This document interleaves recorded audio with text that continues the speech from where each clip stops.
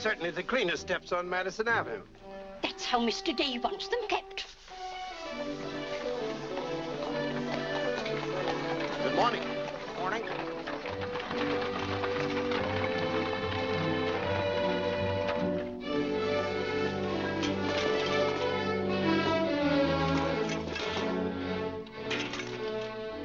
You're new here, aren't you? Just this morning. This is the way Mr. Day gets his milk.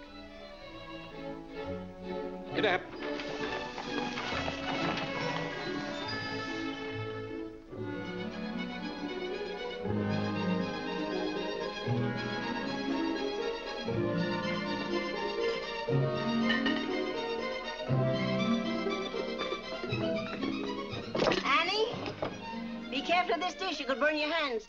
And keep the cover on till you're ready to serve them. Mr. Day likes his muffins hot. I'll do that.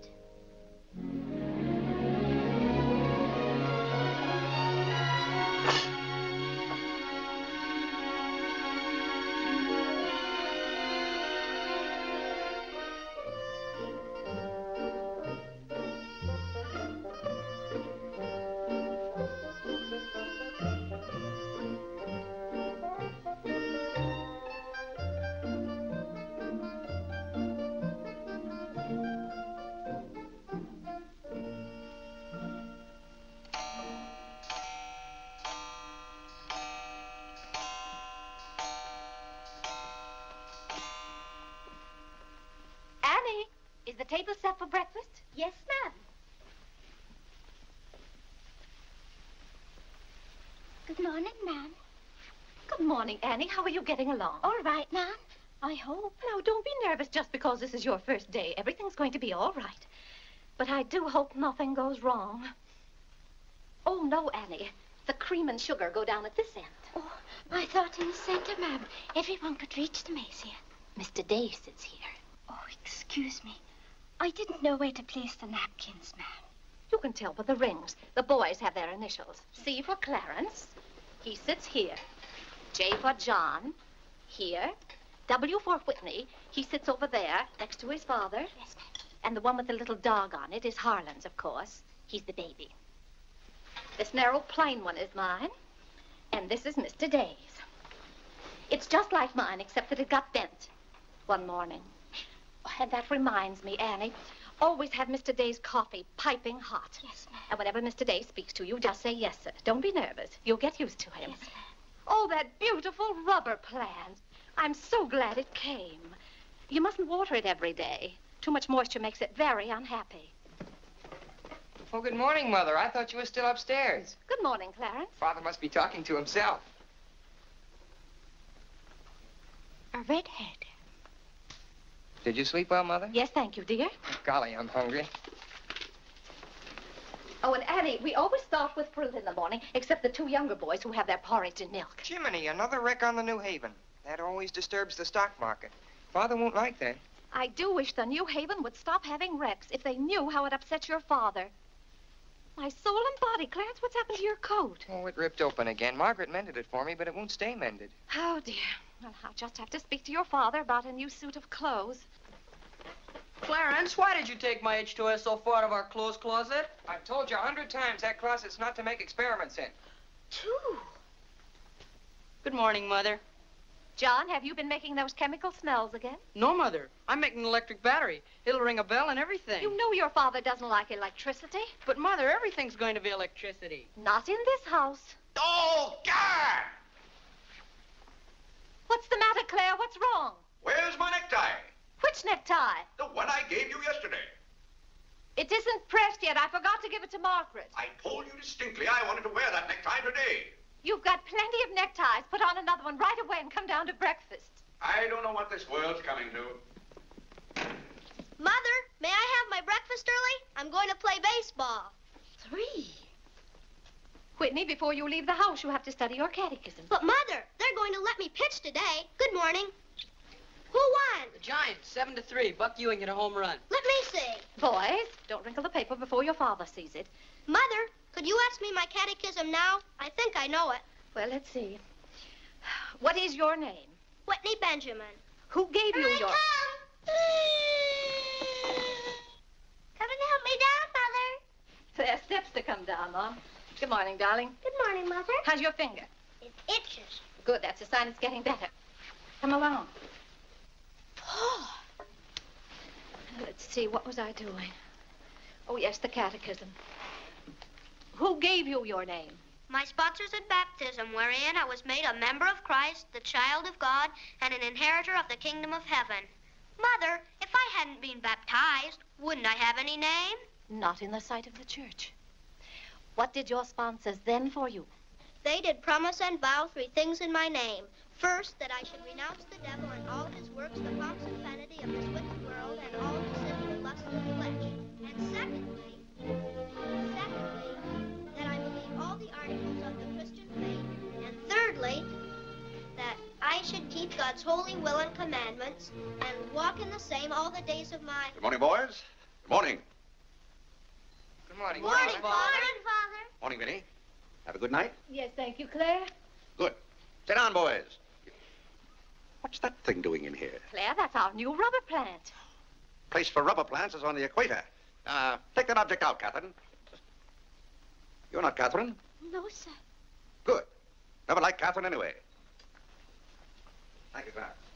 Put it somewhere else, Annie, but not too near a window. Sit down, Harlan. Thank you, dear.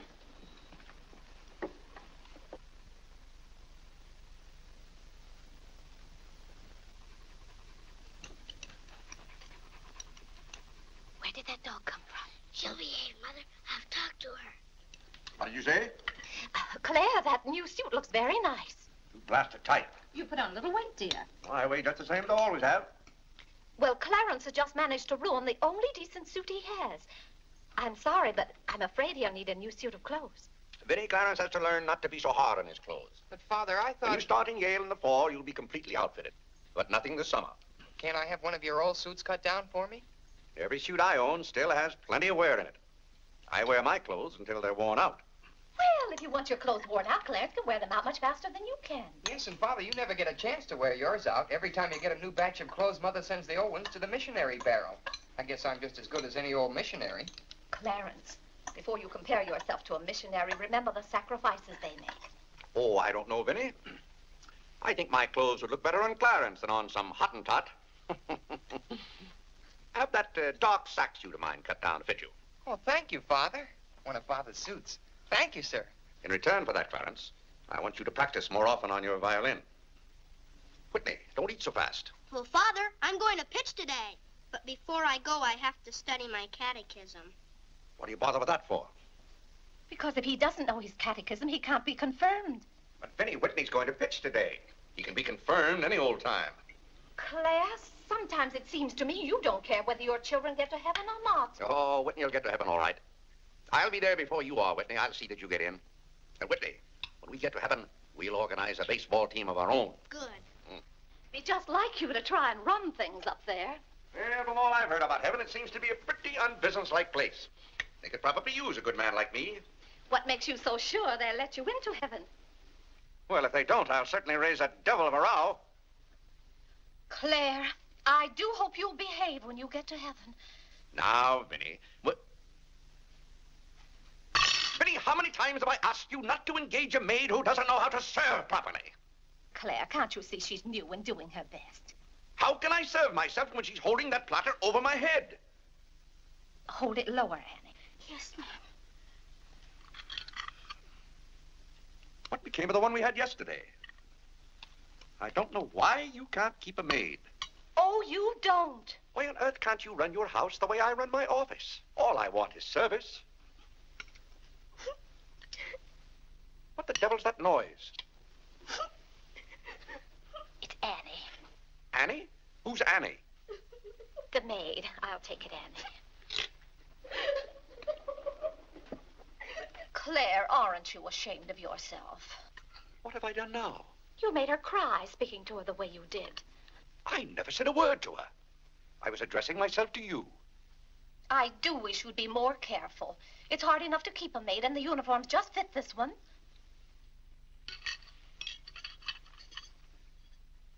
What's the matter, Claire? What's wrong?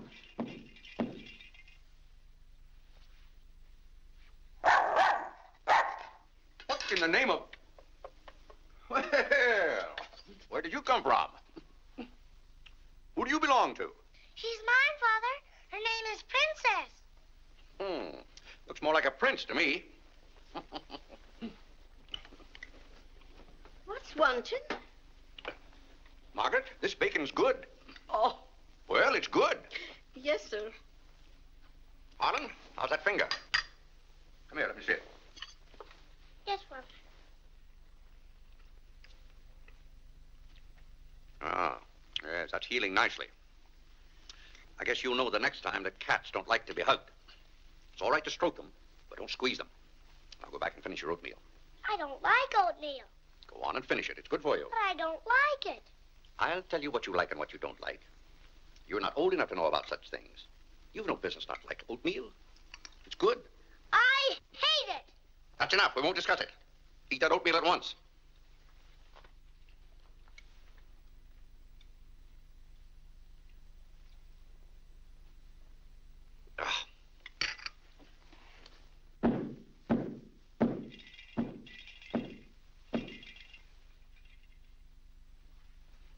John, that letter's for your mother.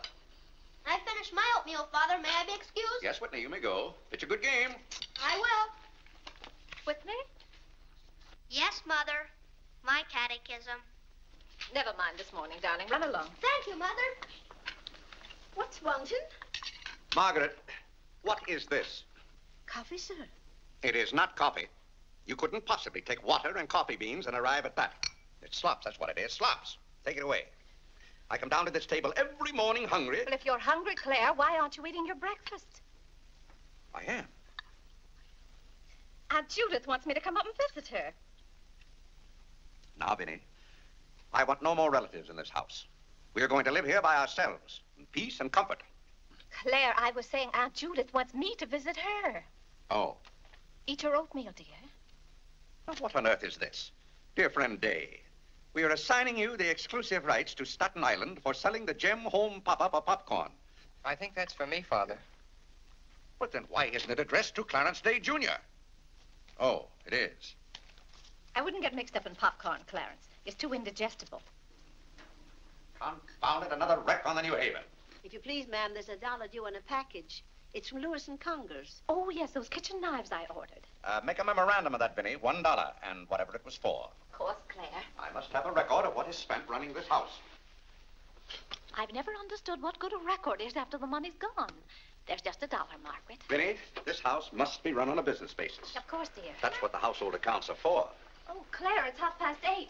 You don't want to be late at the office. Plenty of time. Annie, clear the table now. Ma'am, I'll do that. Clarence, John, Yes, Mother? You boys go up and move the small bureau from my room into yours. Who's coming? Cousin Cora, and she's bringing a friend with her, a young girl. A girl? You'll have to help entertain her, Clarence. Oh, Mother, do I have to? Wait till Father finds out we've got visitors. There'll be a rumpus. John, don't criticize your father. He's very hospitable. After he gets used to the idea.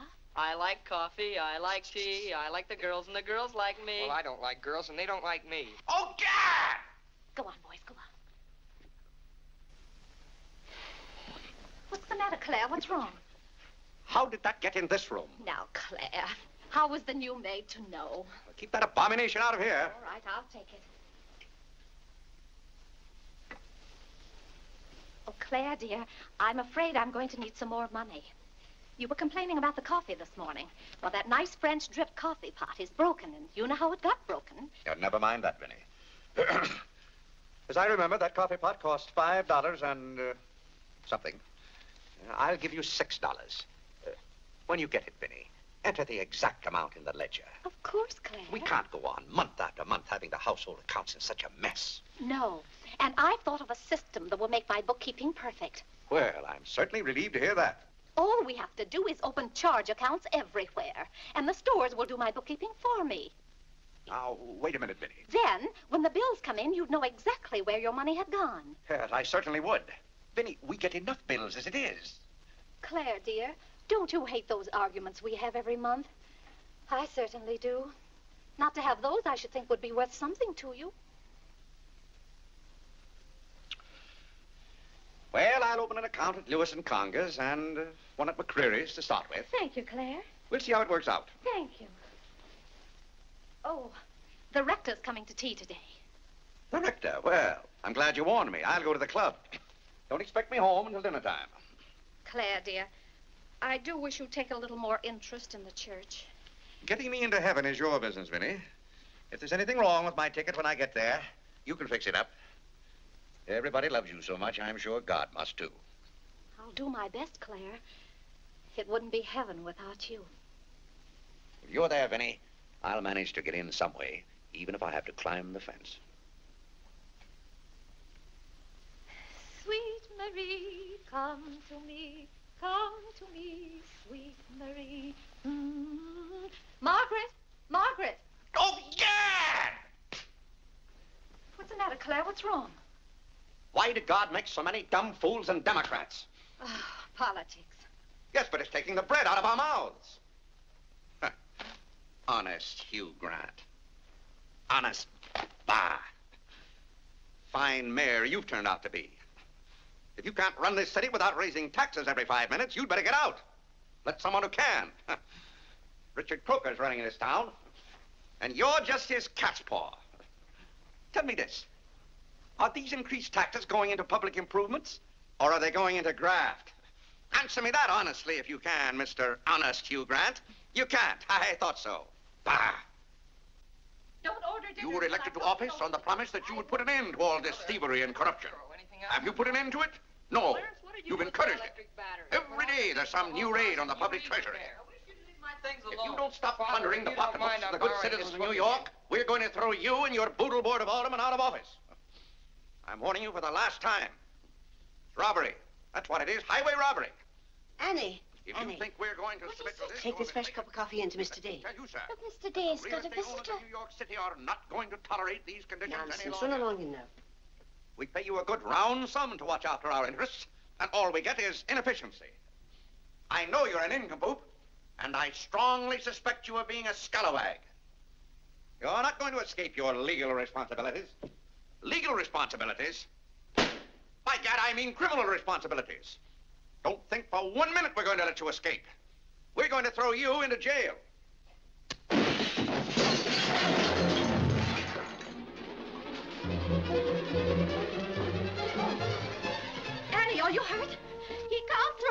Me jail. Vinnie, why can't I have quiet here in the morning? Claire, what happened? It sounded to me as though that maid dropped a whole tray of dishes. Yes, but what did you say to her? Say to her, I haven't seen her since breakfast. I better get to the office. Oh, yes, Claire, you don't want to be late. I'll be home in plenty of time for dinner. Why don't we have chicken fricassee tonight? Well, Claire, chicken's gone up. It's eight cents a pound.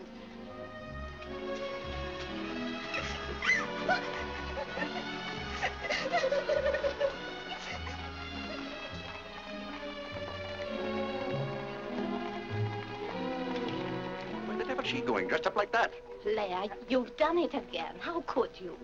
How could I what? Can't you see she's leaving? Dear, I've no time to engage a new maid. We'll have to have dinner out. Dinner out. Nonsense. I'll engage a new maid myself. Claire, you can't. She has to fit the uniforms. I'll have one here in an hour. Goodbye, dear. Bye, Good morning, Mr. Day. On your way to the office? Yes, Terence. Good morning. Mrs. Day? Good morning, Mr. Day. Jim.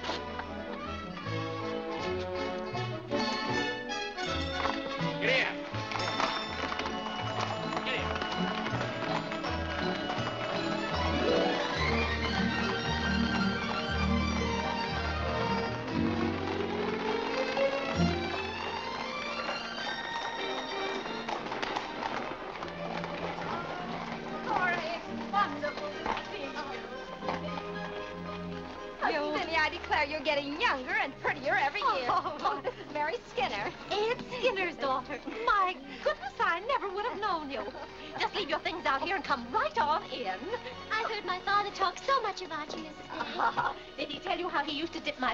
My in the inkwell at school?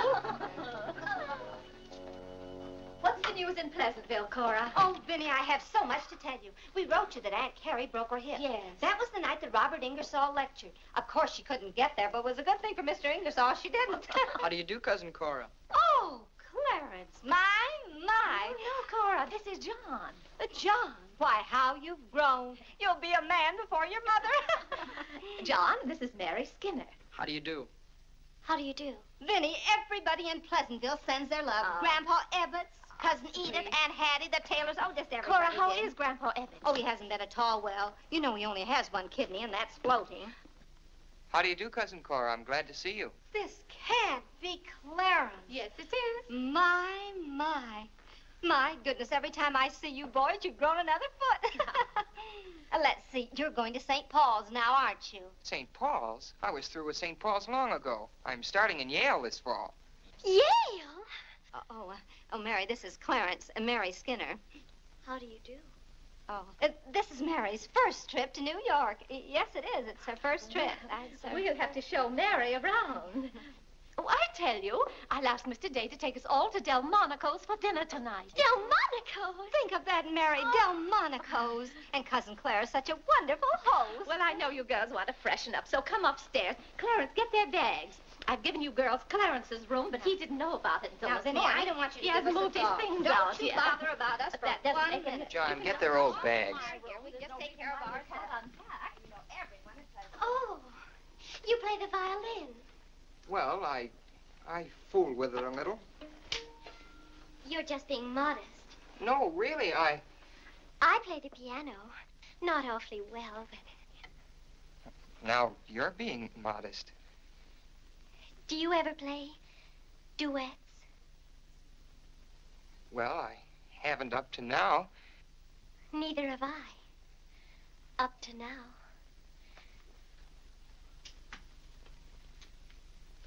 Cora didn't tell me about you. I never met a Yale man before.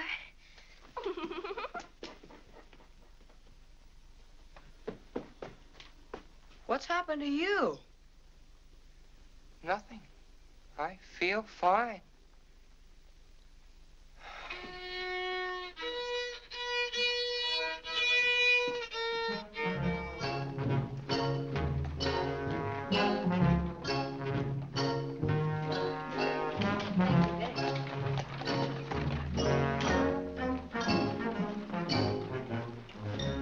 You keep them? Do you wish a domestic servant? Where do you keep them? I will take your name and address. Confound it, I'm late at the office now. If you will give me the details as to what kind of person you require. I'm asking you where you keep them. Why, the girls are in there, but clients are not allowed in that room. If you will tell me the kind of a position you wish to have filled, I will be very glad to.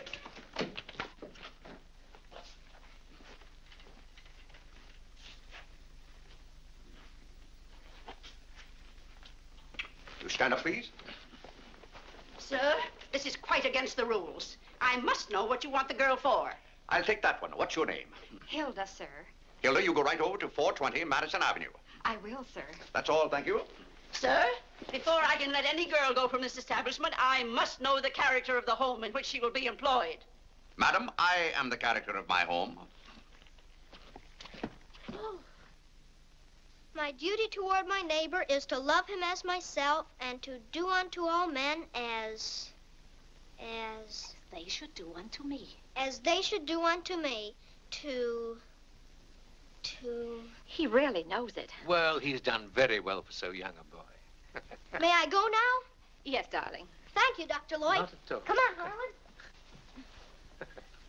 Wait for me. Ah, you and Mr. Day must be very proud of your children. I was hoping I'd find Mr. Day at home this afternoon. Well, he, he's usually home from the office by this time. Hmm. Perhaps he's gone for a gallop in the park. It's such a fine day. He's very fond of horseback riding, I believe. Oh, yes. Tell me, has he ever been thrown from a horse? Oh, no, no horse would throw Mr. Day. I just thought he might have had some accident. I notice he never kneels in church. Oh, that's no accident. But I don't want you to think he doesn't pray. He does. Why, sometimes you can hear him all over the house. But he never kneels. Ah, perhaps that's Mr. Day now. I hardly think so. Oh, the devil, I forgot. Claire, you're just in time for tea. I'll send for some hot water. How are you, Dr. Lloyd? It's a great pleasure to have a visit with you, Mr. Day. Mother, Are they back yet? No, Clarence, no. Except for a brief glimpse on the Sabbath, I don't see much of you. well, Claire, did you have a busy day at the office? Uh, devilishly busy. Claire. Uh, a very busy day. Tired out. How a man can get tired just sitting at a desk all day, I don't know. I suppose Wall Street is just as much a mystery to you as it is to me, Dr. Lloyd. No, no, it's all very clear to me. My mind often goes to the businessman. The picture I'm most fond of is when I envision him at the close of the day's work. I see him pausing in his toil, and it comes over him that all those figures of profit and loss are without importance or consequence. Vanity and dust. Well, I'll be... Claire? Yes, ma'am. Delia, some more hot water, please. Yes, ma'am. Who's that? The new maid. Where's the one I sent this morning? The uniform didn't fit. Hmm. I like the one I picked out better. Uh, Claire, Dr. Lloyd wants to tell us about the plans for the new edifice. The new what? The new church. You knew we were planning to build a new church. Of course, we're going to have to raise a large sum of money. Well, personally, I'm against the church hop, skipping, and jumping all over the town. So any contribution I make will have to be a small one. The amount everyone is to subscribe has already been decided. Who decided it? After considerable thought, we voted that our supporting members should each contribute a sum equal to the cost of their pew. I paid $5,000 for my pew. Yes, Claire, that makes our contribution $5,000. That's robbery. Do you know what that pew was worth today? $3,000. That's what the last one sold for. I've taken a dead loss of $2,000 on that pew already. Frank Baggs sold me that pew when the market was at its peak. He knew when to get out. And I'm warning you, Vinnie, if the market ever goes up, I'm going to unload that pew. Clarence Day, how can you speak of the temple of the Lord as though it was something to be bought and sold on Wall Street? Now, Mrs. Day, your husband is a practical man. We've had to be practical about the new church. We have all the facts and figures. Oh? What's the property worth where we are now? Oh, let's see. Is it $40,000? I know the figure has a four in it. What's the new piece of property going to cost you? I think the figure I heard mentioned was $85,000. Or was it uh, 185,000? Uh, Dr. Lloyd, you preach that someday we'll all have to answer to God. We shall indeed. Well, I hope God doesn't ask you any questions with figures in them. Mrs. Day is in the living room. Thank you. It's Cousin Cora. Hmm? She's passing through town. Oh. Well, Oh, hello. Hello. Hello. Thank you for helping me. Come, Mary. Oh, Vinnie, what a day. We've been in every shop in town. Why, Cousin Clare. Cora, My, my. you're as welcome as the flowers in May. This is Mary Skinner, Mr. Day. How do you do? I've been telling Mary all about you. She's been dying to meet you. Well, Dr. Lloyd, I want you to meet my favorite cousin, Miss Cartwright. How do you do do? And this is Mary Skinner. Miss Skinner, Dr. Lloyd. How do you do? How do you do? Well, this seems to be a family reunion. I'll just run along. uh, goodbye, Dr. Lloyd. Uh, uh, goodbye, Miss Oh, goodbye. Uh, goodbye. Oh, uh, Clarence, you haven't said how do you do to Dr. Lloyd. Goodbye, Dr. Lloyd. uh, goodbye, everybody. I'll go to the door with you, Dr. Thank Lloyd. you, and thank you so much for the tea. I did- Those muffins were delicious. And the... Who did you say this pretty little girl is? She said Skinner's daughter. This is Mary's first trip to New York. Oh, uh, sit down, sit down. Have some tea. We had tea downtown. Oh, uh, never mind then. Uh, Delia. uh, Delia, uh, sit down, sit down. Even if you have had tea, you can stay and visit for a while. As a matter of fact, why don't you both stay to dinner? That's all arranged, Clare. Cora and Mary are going to have dinner with us. Fine, fine. Of course, you just have to take potluck. Well, I'd hardly call it pot. Clare, uh, did you know the girls are going to visit Aunt Judith in Springfield for a whole month? Fine. Now, how long are you going to be in New York, Cora? All week? Splendid. We'd hope to see something of you. well, you certainly will. I... Cora, uh, d- d- did you find anything you wanted in the shop? Oh, I can't wait to show you. Oh, but I'm afraid some of these packages can't be opened in front of Cousin Clare. Shall I leave the room?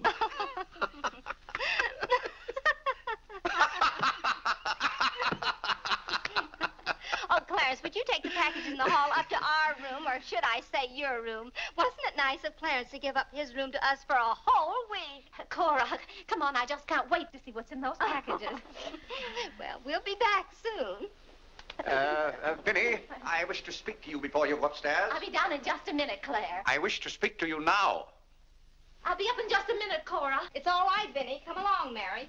Are those two women encamped in our house? Now, Clare. Answer me, Vinnie. Now, Clare, you know. Answer me. Just a minute. Clarence.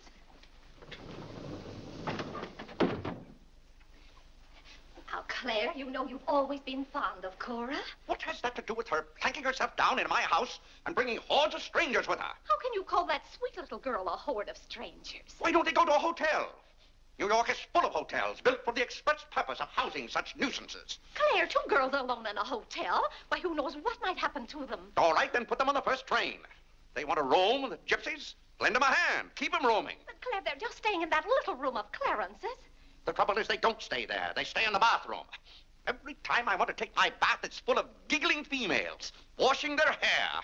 I tell you, I won't have it.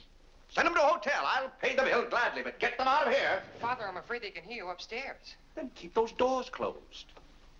Clarence, you open those doors. Open them all the way. Now, Clare, you be quiet and behave yourself. They're here, and they're going to stay here. That's enough, Vinnie. I want no more of this argument.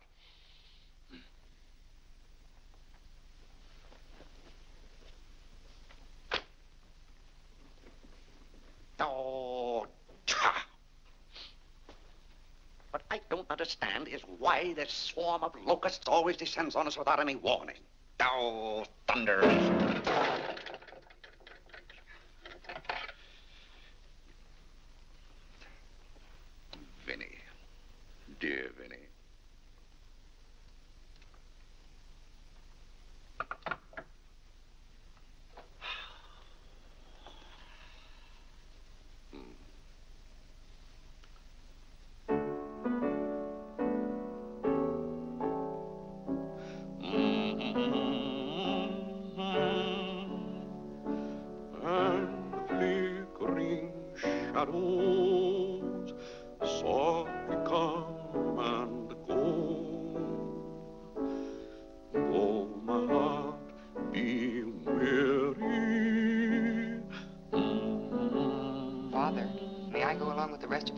Delmonico's? What's that, Delmonico's? You're taking Mother, Cousin Cora, and Miss Skinner to Delmonico's for dinner tonight. Oh, Gad! I won't have it. I won't have it. I will not have my life arranged for me. I bought this house for my own comfort. I will not submit myself to this indignity. Now, Clare, what's the matter? I won't stand it. By heaven, I won't stand it. Clarence. Do I understand that I am not permitted to have dinner in my own home? Clare, a little change will do you good. I have a home to have dinner in. And any time I can't have dinner at home, this house is for sale. Well, Clare, you can't have dinner here tonight because it isn't ordered. And besides, Cora and Mary want to see something of New York. Well, that's no affair of mine. I am not a guide to Chinatown and the Bowery. Oh, Mr. Day, I just love your house. I could live here forever.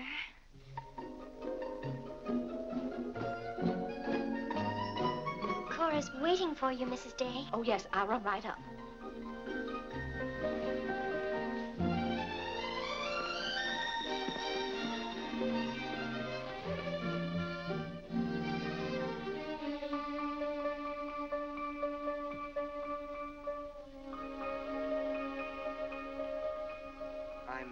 Glad you like our house, Miss Skinner. I like it very much, Mr. Day. Praise from a stranger is approbation indeed. At home, our living room is green. I like green. I like green, too. Red's my favorite color. It's an interesting thing about colors. Red's a nice color in a house, too, but outside, too much red would be bad. I mean, for instance, if all the trees and the grass were red. Outside, green's the best color. That's right. I never thought of it that way. But when you do think of it, it's quite a thought. I bet you make your mark at Yale. Oh, My mother wants me to go to college. Do you believe in girls going to college? I guess it's all right if they want to waste that much time. Before they get married, I mean. I'm glad you're fond of music, Mr. Day. Oh, hello. Look, a new youth companion. John enjoys the youth's companion. John. Won't you sit down? Oh, thank you. It tells all about connecting batteries in series. John, Miss Skinner and I were talking. Oh, that's all right. You won't bother me. Jiminy, there's where I made my mistake. I didn't mix enough blue vitriol with it.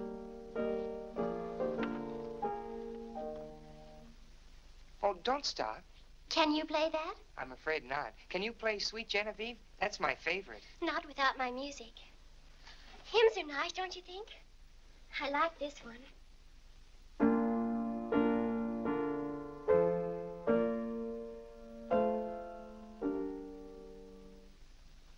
That's funny. The words are the same, but it's the wrong tune. Oh, it can't be the wrong tune. We sing it exactly that way in church. We don't sing it that way in the Methodist church. You see, we're Methodists. Oh, that's too bad.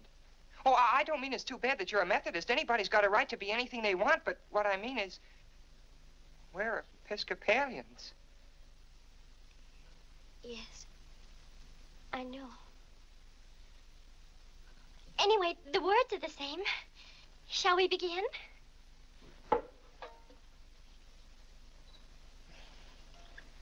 Now,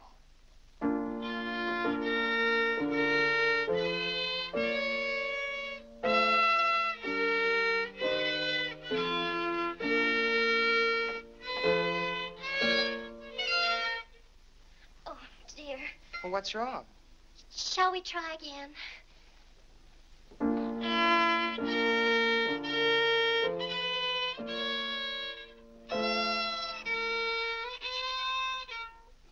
It must be my fault. Oh, no, it's my fault. No, you're the Episcopalian.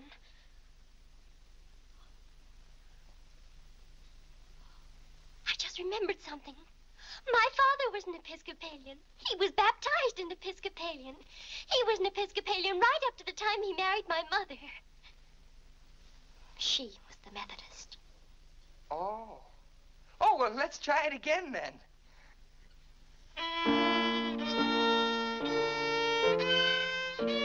Well, Clarence, if you're going to Delmonico's with us, you'd better get dressed. Am I going to? Jiminy. Thank you, Father. Be ready in just a minute, Mother. Minnie, that young lady looks about the same age you were when I came out to Pleasantville to rescue you. Rescue me? Hmm. You came out there to talk me into marrying you. Uh, it worked out just the same. Ah.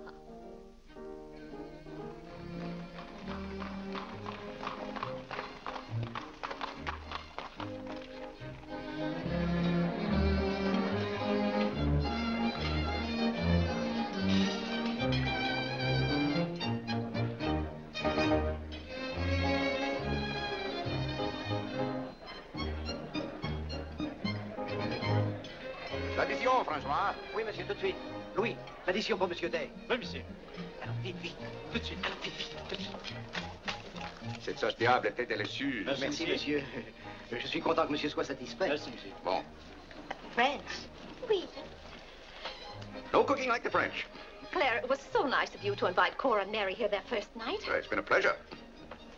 Mr. Day, have you always been an Episcopalian? I've always gone to the Episcopal Church, yes. But you weren't baptized a Methodist or anything, were you? You were baptized an Episcopalian? Come to think of it, I don't believe I was ever baptized at all. Clare, that's not very funny, joking about a subject like that. I'm not joking. I remember now, I never was baptized. Clare, that's ridiculous. Everybody's baptized. What? I'm not. No one would keep a little baby from being baptized. Uh, you know father and mother, free thinkers, both of them. They felt their children should decide those things for themselves. But Clare, I remember when I was uh, 10 or 12 years old, Mother said I ought to give some thought to it, but uh, I never got around to having it done to me. Clare, do you know what you're saying? Yes, I'm saying I've never been baptized. Then something's got to be done about it right away. Now, Freddy, don't get excited over nothing. Why haven't you ever told me? Well, what difference does it make? I've never heard of anyone who wasn't baptized. Even the savages in darkest Africa. Well, it's all right for savages and children. But if an oversight was made in my case, it's too late to correct it now.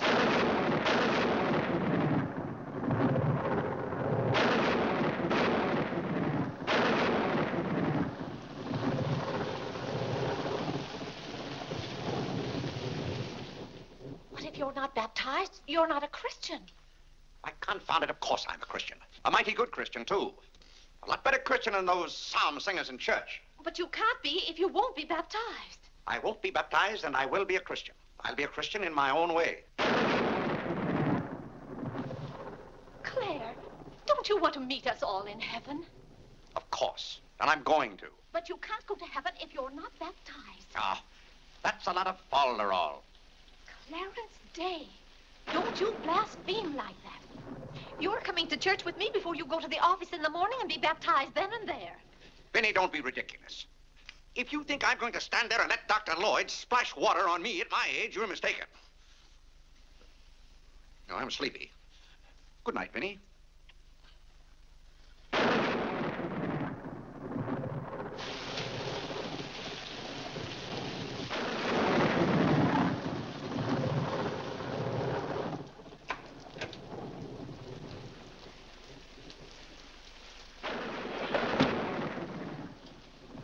Mother, what is Father? Get back to sleep. Mother, Yes, Whitney. if Father hasn't been baptized, he hasn't any name. In the sight of the church, he hasn't any name. That's right. Maybe we're not even married.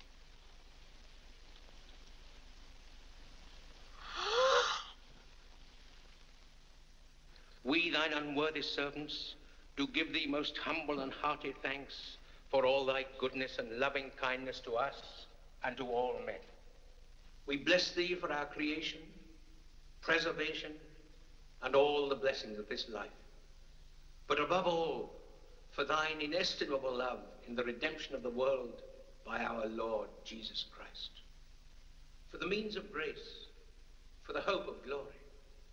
And we beseech thee, give us that due sense of all thy mercies, that our hearts may be unfeignedly thankful, and that we show forth to praise, not only with our lips, but with our lives, by giving up ourselves to thy service, and by walking before thee in holiness and Mother says kneel. all our days.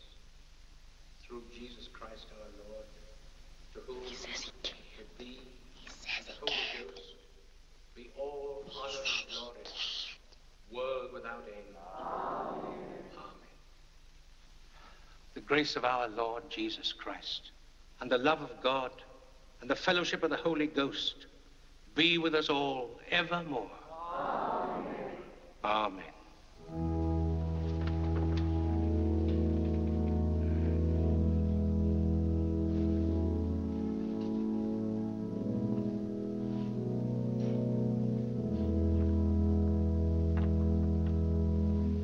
And so, my friends, what comfort and security it gives us when we have reached the age of understanding to know that the rite of baptism has not been neglected in our infancy or youth.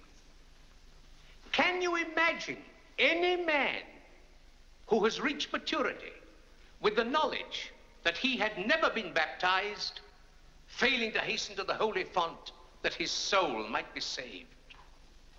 As it says in the baptismal office, except a man be born of water and of the Spirit, he cannot enter into the kingdom of God.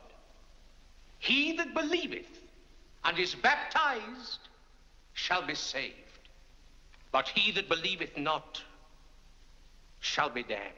Uh-huh. What's that follow up to? He can't be. Which also showeth us the great benefit we reap thereby. He that is baptized showeth great benefit. No, Father. But he that believeth not cannot enter into the kingdom of God. Says, For the promise is to you and to your children. Doubt ye not, therefore, but earnestly believe.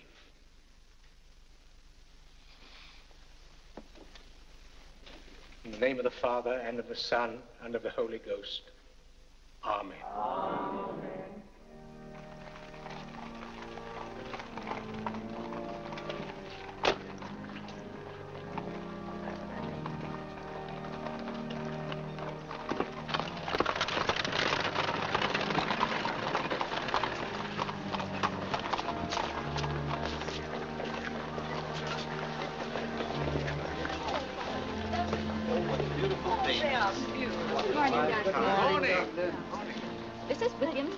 Tyler Wickersham. And this is Wilhelmina Eugenia Wickersham. What a lovely day for them to be baptized. The happiest day of my life.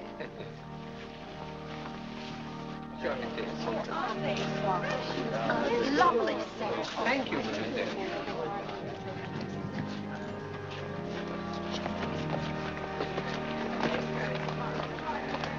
Clare, you know I didn't ask Dr. Lloyd to do that. You must have said something. Well, I had to find out from him if we were really married. I am married and I'm not baptized. And as far as I'm concerned, the whole congregation can know it. They certainly know it now. That suits me. I don't go to church to be preached at as though I were some lost sheep. Clare, you don't seem to understand what the church is for. Minnie, if there's one place the church should leave alone, it's a man's soul.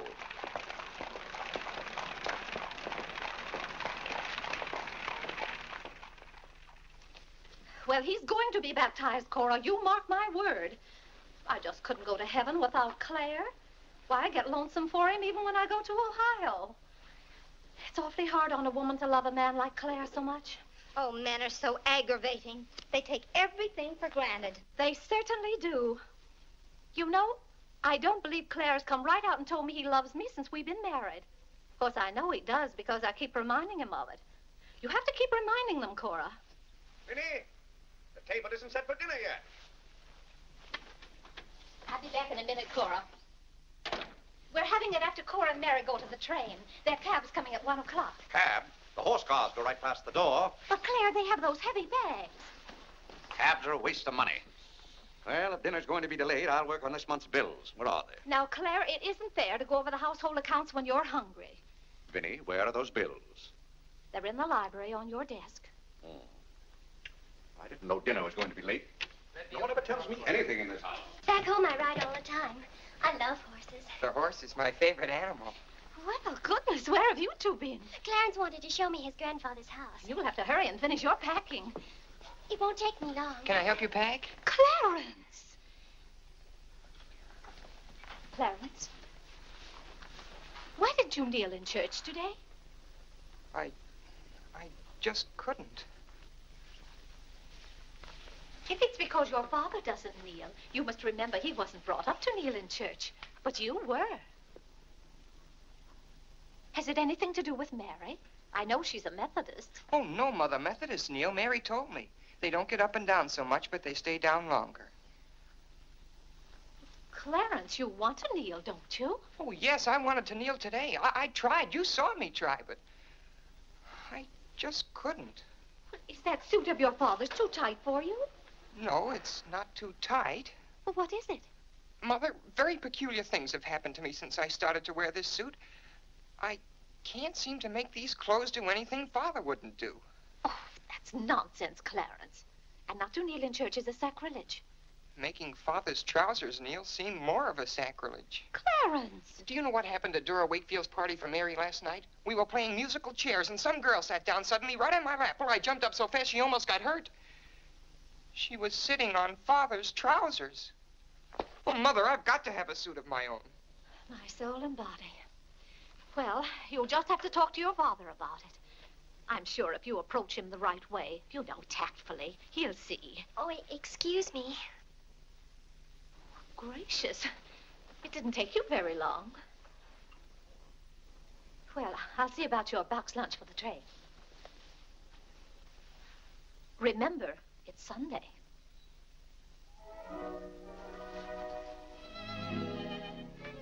I. I was hoping we could have a few minutes together before you left. Cora had so much to do, I wanted to get out of her way. Well, didn't you want to see me? I did want to tell you how much I've enjoyed our friendship. Oh, hello. Mother told us to sit in the living room till dinner's ready. Not on the best sofa. Hello. Hello. Have you ever been out on our porch? Oh, yes. Well, let me show it to you. It's awfully hard to grow up in a family with children. My, I've never known a week to pass so quickly. Why, I. Yes? Why, I. Yes? You're going to write me when you get to Springfield, aren't you? Of course. If you write me first. But you'll have something to write about your trip and Aunt Judith and how things are in Springfield. You write me as soon as you get there. Maybe I'll be too busy. Maybe I won't have time. Well, you find the time. Let's not have any nonsense about that. You'll write me first and you'll do it right away the first day. How do you know I'll take orders from you? Well, I'll show you. Give me your hand. Why should I? Give me your hand, confound it. What do you want with my hand? I just wanted it. What are you thinking about? I was just thinking. About what? I was hoping you'd write me first, because that would mean you liked me. Well, what's my writing first got to do with liking you? You do like me then. Of course I do. I like you better than any girl I ever met. But you don't like me well enough to write first. Well, I don't see how one thing's got anything to do with the other. But a girl can't write first because. because she's a girl. Well, that's nonsense. If a girl has something to write about and a fellow hasn't, there's no reason why she shouldn't write first. You know, the first few days I was here, you'd do anything for me. And then you changed. You used to be a lot of fun. Then all of a sudden you turned into an old sober sides. Why, why, you even dress like an old sober sides. What's the matter? I just happened to remember something. What? Oh, I know. It's because this is the last time we'll be together. Mary, please. But, Clarence, we'll see each other in a month when I come back. Oh, Clarence, please ride me first because that'll show me how much you like me. Please. I'll show you how much I like you. Get up, get up! Oh, oh Mary, don't do that. Please don't do that. Now you'll think I'm just a bold and forward girl. Oh, no, no, it's not that. Was it because it's Sunday? No, it'd be the same any day. Oh! You just didn't want me sitting on your lap. Oh, it was nice of you to do it. It was nice of me, so you told me to get up. You just couldn't bear to have me sit there. Oh, well, you needn't write me first. You needn't write me any letters at all. Because I'll tear them up without opening them. I never want to see you again. Oh, Mary, Mary, listen to me. Mary, please. Oh, Mary.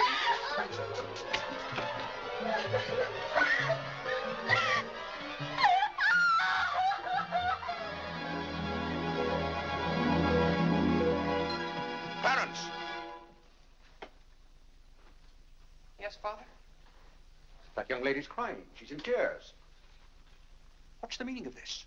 I'm sorry, Father. It's all my fault. Nonsense. What's that girl trying to do to you? Oh, well, n- no, no, she wasn't. It was. I. I. Well, whatever the quarrel was about, Clarence, I'm glad you held your own. Father, I have to have a new suit of clothes. You've got to give me the money for it. Young man, do you realize that you're addressing your father? I'm sorry, Father. I apologize. But you don't know how important this is to me. A new suit of clothes is so important. Why should... Clarence, has your need for a new suit of clothes anything to do with that young lady? Yes, Father. Why, Clarence. Why, this comes as quite a shock to me. What does, Father? For you are being so grown up. Still, I might have known if you were going to college this fall. Yes, you're at the age when you'll be meeting girls. Clarence, there are things about women that I think you ought to know. Sit down.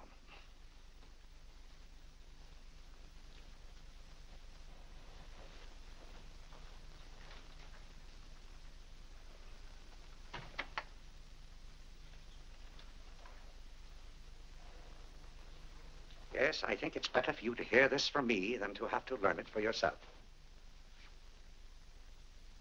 Clarence, women aren't the angels that you think they are. Well, now, first let me explain this to you. You see, Clarence, we men have to run this world, and it's not an easy job. It takes work, and it takes thinking. A man has to reason things out. Now, you take a woman. A woman thinks. No, I'm wrong right there. A woman doesn't think at all. She gets stirred up. And she gets stirred up over the most confounded things. Now, I love my wife just as much as any man, but that doesn't mean that I should stand for a lot of falderall. By gad, I won't stand for it. Stand for what, Father? That's the one thing I shall not submit myself to. Clarence, if a man thinks a certain thing is wrong, he shouldn't do it. If he thinks it's right, he should do it. Now, that has nothing to do with whether he loves his wife or not. Who says it has, Father? They do. Who, sir? Women. They get stirred up. And then they try to get you stirred up, too. But don't you let them do it, Clarence. Don't you let them do it. Now, if you can keep reason and logic in the argument, a man can hold his own, of course. But if they can switch you, pretty soon the argument's about whether you love them or not. I swear I don't know how they do it. But don't you let them, Clarence. Don't you let them. I see what you mean so far, Father. If you don't watch yourself, love can make you do a lot of things you don't want to do. Exactly. But if you do watch out and know just how to handle women, then you'll be all right. All a man has to do is be firm. You know how sometimes I have to be firm with your mother.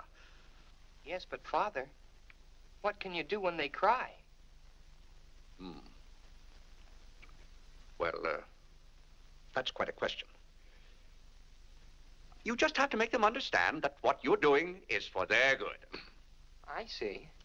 Now, Clarence, you know all about women.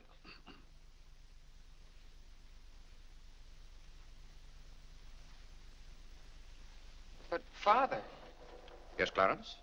I thought you were going to tell me about. About what? About women. Clarence, there are some things gentlemen don't discuss. I've told you all you need to know. The thing for you to remember is be firm.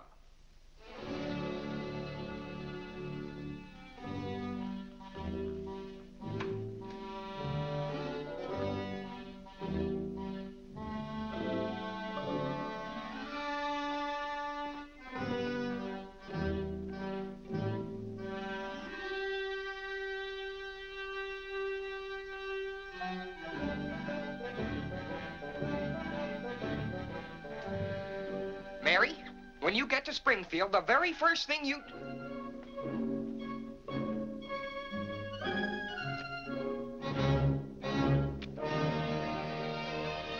Oh, God! What's the matter, Clare? What's wrong? Sit down, Vinnie. Oh, Clare, Cora and Mary are leaving any moment now. Vinnie, you know I like to live well, and I want my family to live well. But this house must be run on a business basis. I must know how much money I'm spending and what for. For instance, if you recall, a week ago I gave you six dollars to buy a new coffee pot. Yes, because you broke the old one. You threw it right on the floor. I'm not talking about that.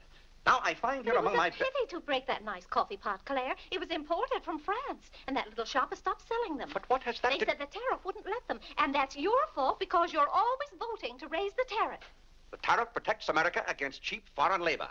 Now, this bill. The tariff does nothing but put up the prices, and that's hard on everybody, especially the farmer. Vinnie, I wish to heaven you wouldn't talk about matters you don't know anything about. I do too know about them. Miss Gulick says that every intelligent woman should have some opinion Who, about. may I ask, is Miss Gulick? She's the current events woman I told you about, and the tickets are a dollar every Tuesday. Do you mean to tell me that a pack of idle-minded females pay a dollar apiece to hear another female gabble about the events of the day? Listen to me if you want to know anything about the events of the day. But you get so excited, Clare. And besides, Miss Gulick says that our president, whom you're always belittling, prays to God for guidance. Vinnie, what happened to that six dollars? What six dollars? I gave you six dollars to buy a new coffee pot. Now I find that you apparently got one at Lewis and Conger's and charged it. Here's the bill. One coffee pot, five dollars. So you owe me a dollar, and you can hand it right over. I'll do nothing of the kind. What did you do with that six dollars? Well, Clare, I can't tell you now, dear. Why didn't you ask me at the time? I give up. Wait a minute. I spent four dollars and a half for that new umbrella, Now we're getting somewhere. One umbrella, four dollars and fifty cents. and that must have been the week I paid Mrs. Tobin for two extra days washing. Mrs. Tobin. That's two dollars more. That Two makes that makes uh six dollars and fifty cents, and that's another fifty cents you owe me. I don't owe you anything. What you owe me is an explanation of where my money's gone. I do the best I can to keep down expenses. You know yourself, cousin Phoebe spends twice as much as we do. Don't talk to me about your cousin Phoebe. You talk about your own relatives enough. That's not fair, Vinnie. When I talk about my relatives, I criticize them. I can't even speak of cousin Phoebe. You can speak of her all you want to. But I won't have cousin Phoebe or anyone else dictating to me how to run my house. I didn't say a word about her dictating. Clare, you know she isn't that. You said. You said. Well, I don't know what you said now. You never stick to the point. Now, we're going over this account book, item by item. I find here a bill for $38. I don't know what you expect of me. I tire myself out chasing up and down those stairs all day long, trying to look after your comfort, to bring up our children. I do the mending and the marketing. Now you want me to be an expert bookkeeper, too.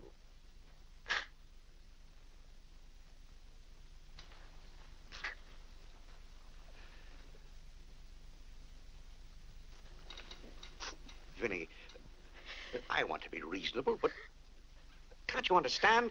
I'm doing all this for your own good. Oh. Well, I suppose I'll have to go ahead just paying the bills and hoping I've got enough money in the bank to meet them. But it's all very discouraging. I'll try to do better, Clare. Well, that's all I'm asking. Well, I'll uh, make out the checks and sign them. But uh, maybe I haven't any right to sign those checks since in the sight of the Lord I haven't any name. That's right. Clare, to make those checks good, you'll have to be baptized right away. Vinnie, the bank doesn't care whether I've been baptized or not. Well, I care. And no matter what Dr. Lloyd said, I'm not sure we're really married. Vinnie, we have four children. If we're not married now, we never will be. Clare, Dr. Lloyd said this morning. Well, that's all, Vinnie. Uh, hadn't you better go tell Whitney to watch for the cab? Not before you give me that dollar and a half. What dollar and a half? The dollar and a half you owe me. I don't owe you any dollar and a half. I gave you money to buy a coffee pot for me, and somehow it turned into an umbrella for you. Why, Clarence Day, what kind of man are you? Quibbling about a dollar and a half when your immortal soul is in danger. And what's more, All if right. you...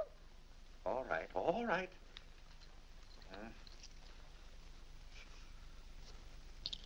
Thank you, Clare. Now the accounts are all straight again.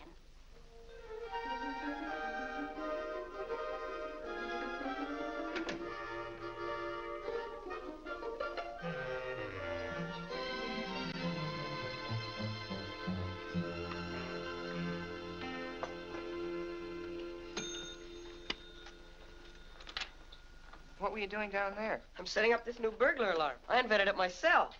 Have you got any money you can lend me? No, you owe me 30 cents now. Well, I'll give you my stamp collection and my piece of John Wilkes Booth's finger. How much? Enough to get a new suit of clothes? If you can wait a month till I hear from the patent office in Washington, I may be rich. I can't wait that long. Maybe I could get it sooner. I'm going to look into something else tomorrow. Wanted an energetic young man to sell household necessity. Liberal commission. Apply 312. What? John, let me have this job. Why should I give you my job? They're hard to get. But I've got to get a new suit of clothes. Maybe I could get the job for both of us. I'll ask the man.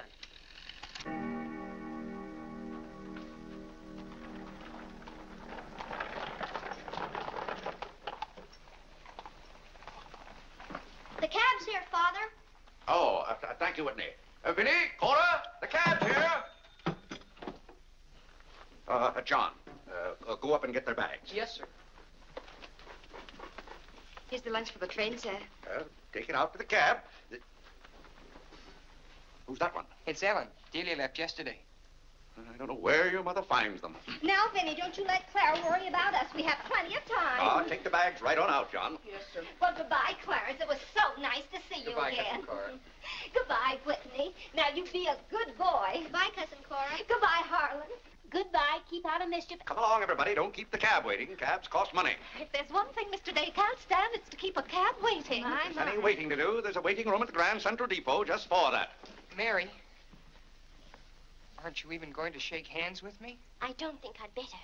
You may remember that when I get too close to you, you feel contaminated. Mary, you're going to write to me, aren't you? Are you going to write first?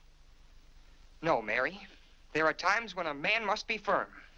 Mary, Mother says you better hurry out before Father starts yelling. It's Sunday. Goodbye, John. I'm very happy to have made your acquaintance. Thank you. May I help you? No, thank you. Take care of yourself. Goodbye, Mr. Day. Goodbye, Mary. Goodbye, Mrs. Day. I've had a wonderful Goodbye, time. Mary. Bye-bye. Goodbye. Goodbye, Cousin Clare. Uh, goodbye, Cora. Goodbye, Cora. Bye. Bye. Bye. Bye.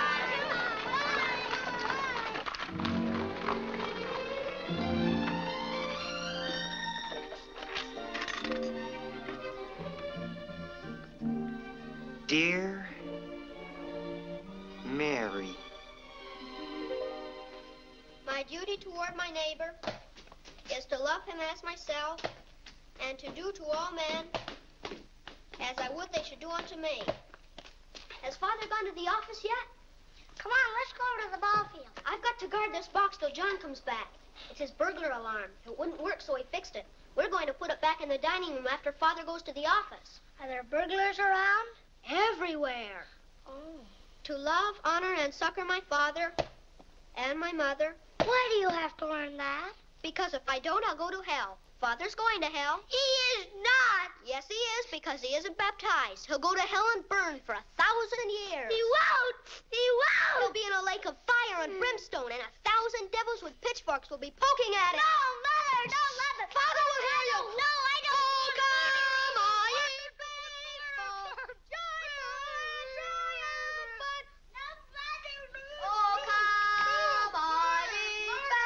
noise? Just singing, Father. You boys be quiet. You know your mother isn't feeling well. Yes, Father.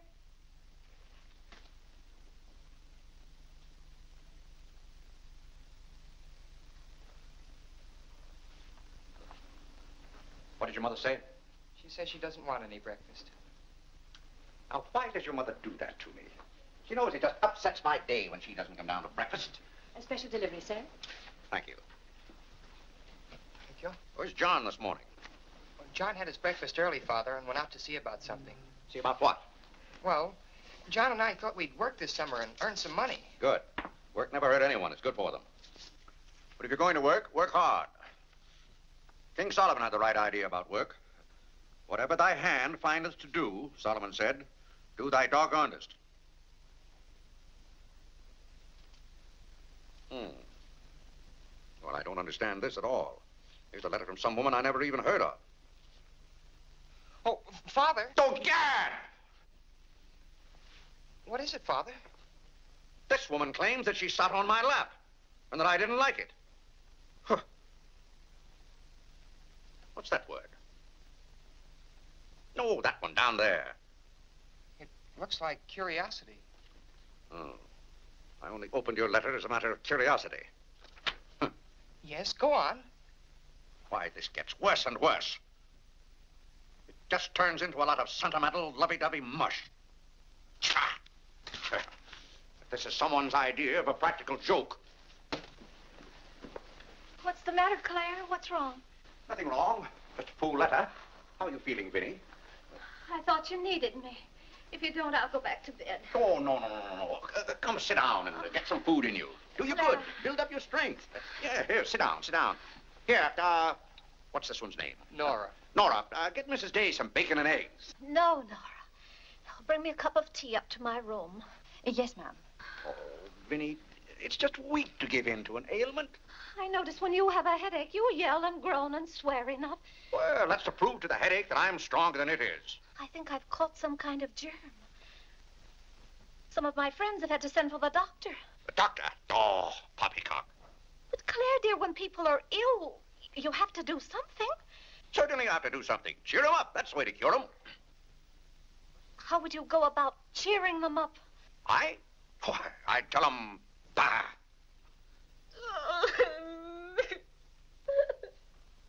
What have I done now? Oh, Clare, hush up.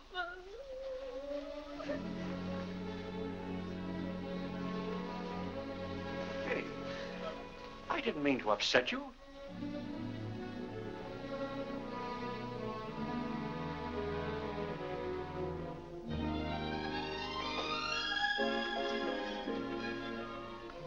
Dear Clarence.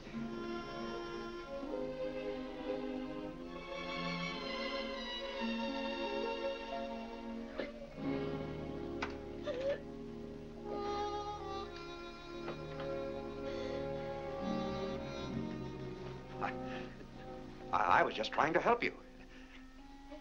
You know, when, when you take your bed, I have a confounded lonely time around here. So when I see you getting it into your head that you're not feeling well, I want to do something about it. But just because some of your friends have given into this, no reason why you should imagine you're ill. Clare, stop. Get out of this house and go to your office.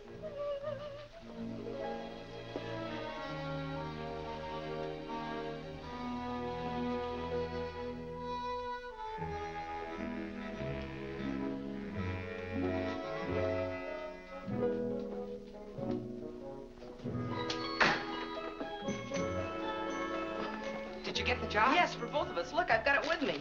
What is it? Medicine. Medicine. You took a job for us to go out and sell medicine? But it's wonderful medicine. Look what it cures.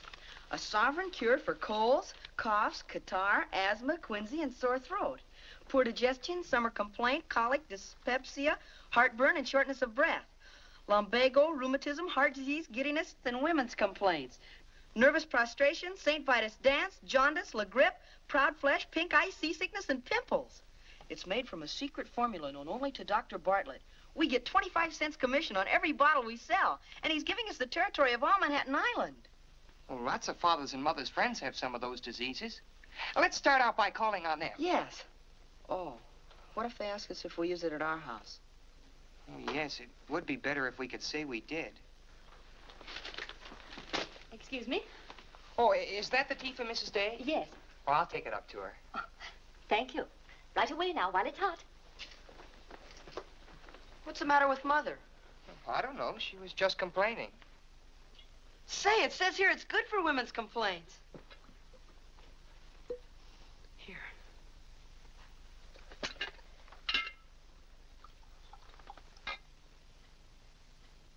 Yes, sir. Chesapeake and Ohio and eight. New York Central, three quarters. I'd like to see Mr. Day about those Morris and Essex apartments. Today's very busy this morning. You'll have to wait.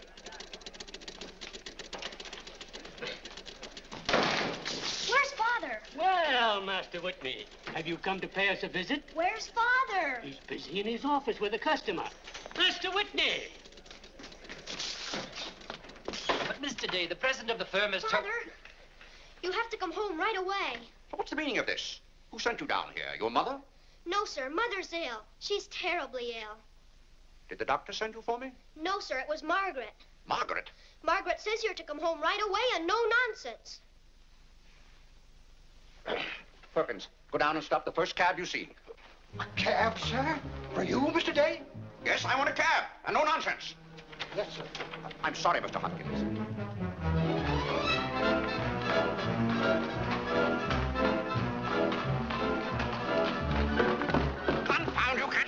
Can't you go any faster? All right.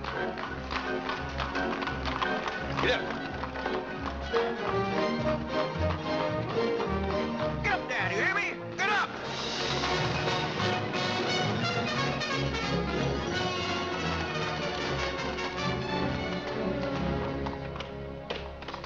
Oh, oh Doctor, how is Mrs. Day? She's a pretty sick woman. Oh, what's wrong with her? Well, do you know or don't you? What did Mrs. Day have for breakfast this morning? Not a thing. I tried to get her to eat something, and she wouldn't. I can't understand it. Understand what? These violent attacks of nausea. It's almost as though she were poisoned. Poisoned? Let me take your cab. I'll try not to be gone more than 10 or 15 minutes. And, Mr. Day, you're not to go into a room. You'd better get her well. Right away, or you'll hear from me. Turn west on 47th Street. Get up, get up.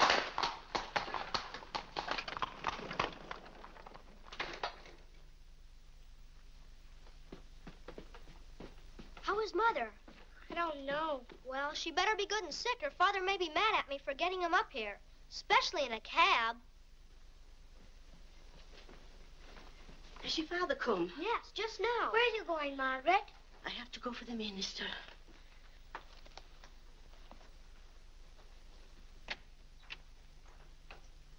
I guess the minister's coming to baptize Father, so I won't have to go to hell. You can't be baptized in a house. You've got to have water. We have lots of water. Not the right kind.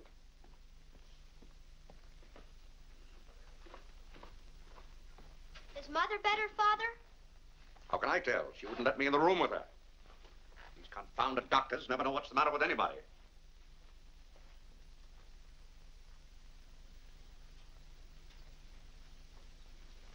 Father, Yes?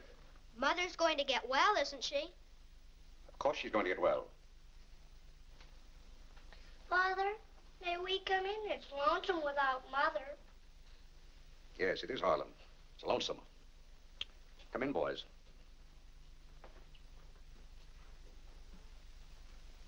What have you been doing, Harlan? Nothing. They won't let me upstairs. What about you, Whitney? I was supposed to learn the rest of my catechism. Will you hear me, Father? Yes, Whitney, I'll hear you. Start here. How many parts are there in a sacrament? Two, the outward visible sign and the inward spiritual grace. What is the outward visible sign or form in bap- baptism? Water, wherein the person is baptized in the name of. You haven't been baptized, have you, Father? Whitney, what is the outward visible sign? Water, wherein the person. Wherein the person.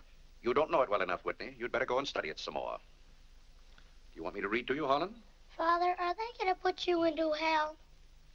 Whitney, take Harlan with you.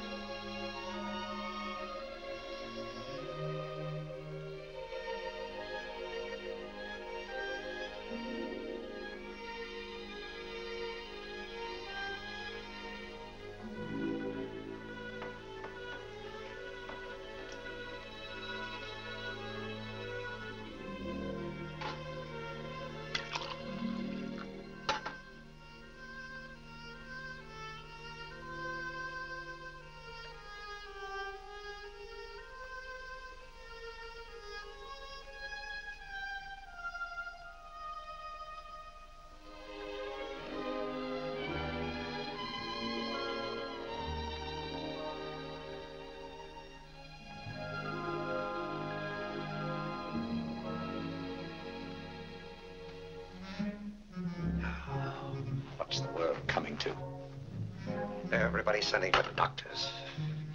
Doctors don't do you any good. Only make you feel worse. All poppycock. Who's ringing that bell? Stop that noise! Stop it, I say! What idiot's ringing that bell? Mr. D. We must all be quiet. Mrs. Day is very ill. I know she's ill. Go up and see if she needs anything. And what are you doing out of the house? Send for the minister. The minister. He'll be right in. He's paying off the cab.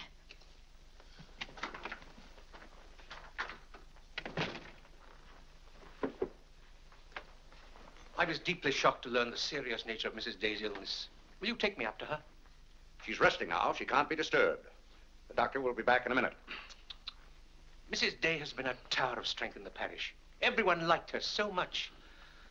Yes, she was a fine woman. I wish to heaven you wouldn't talk about Mrs. Day as if she were dead.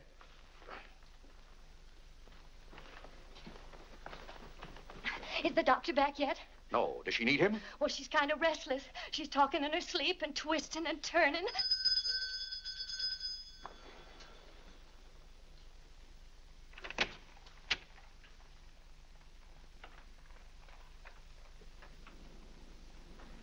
It seems to me that was a pretty long ten minutes. See here, Mr. Day, if I'm to handle this case... How can you handle it if you're out of the house? Who is this? It's Dr. Summers. How do you do? I felt that Mrs. Day's condition warranted my getting Dr. Summers here as soon as possible for consultation. I hope that meets with your approval. Why, yes, of course. Anything that can be done. Upstairs, Doctor. Pardon me.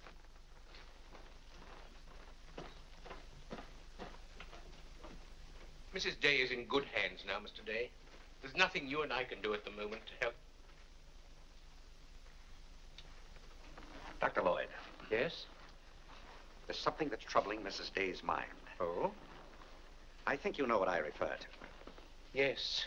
You mean the fact that you've never been baptized? Yes, I gathered that you knew about it from your sermon last Sunday.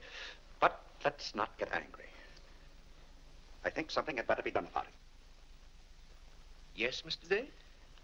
When the doctors get through up there, I want you to talk to Mrs. Day. I want you to tell her something. Why, I'd be glad to. You're just the man to do it. She shouldn't be upset about this. I want you to tell her that my being baptized would just be a lot of confounded nonsense. But, Mr. Day... No, she'd take your word on a thing like that. And we both must do everything we can to help her now.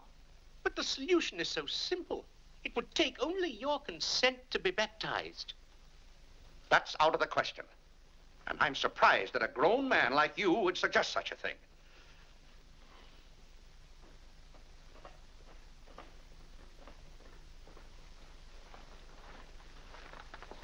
Well, Doctor, how is she? What have you decided? Is there a room we could use for our consultation? Well, yes, my library. Doctor. Well, Dr. Summers, this isn't serious, is it? Uh, after we've had our consultation, we'll talk to you, Mr. Day. But surely... Rest assured, Dr. Summers will do everything that is humanly possible. Uh, we'll try not to be long.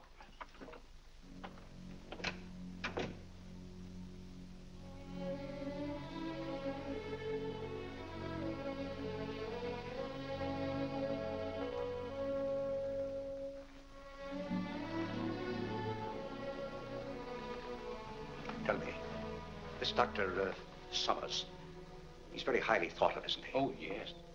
Is seriously... If anyone could help her, he could. Don't you think? Very fine physician. But there is a greater help, ever present in the hour of need. Let us turn to him in prayer. Let us kneel and pray.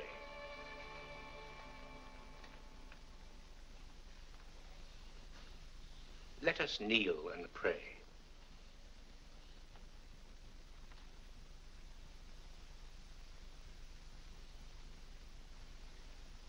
O Lord, look down from heaven.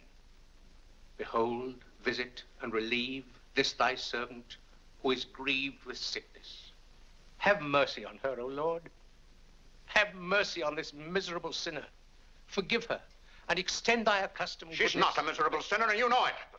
Oh, God! You know Vinnie is not a miserable sinner. She's a fine woman. She shouldn't be made to suffer. It's got to stop, I tell you. It's got to stop. Have mercy, I say. Have mercy, I tell you. What's the matter, Clare? What's wrong? Vinnie. Vinnie, what are you doing down here? You shouldn't be out of bed. You get right back upstairs. I heard you call. Do you need me? Vinnie, I know now how much I need you. Get well, Vinnie. I'll be baptized. I promise. I'll be baptized. You will? I'll do anything. Oh, Clare. We'll go to Europe, just we two. You won't have to worry about the children or the household accounts. Or... Vinnie, Don't worry, Mr. Day. She'll be all right now.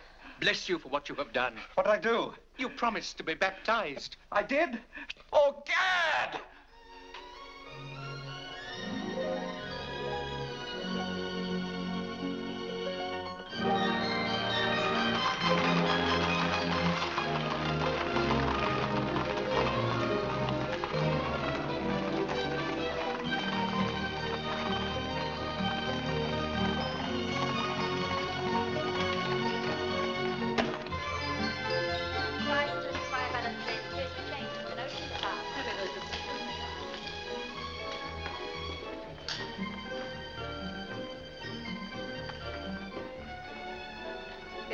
Isn't it drafty here, Mother? Shall I get your coat, Mother? The No, thank you. you. mustn't take cold. I'm quite comfortable, thank you. Come on now, let's stay together. Harlan, don't you get lost again. Aren't the hats lovely this year?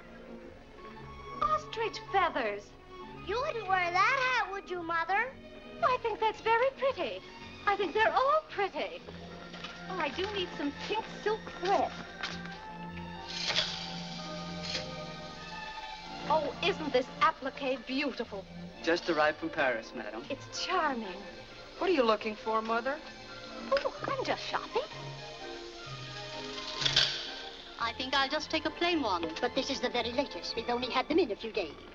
Remember, Mother, this is your first day out. You mustn't get too tired.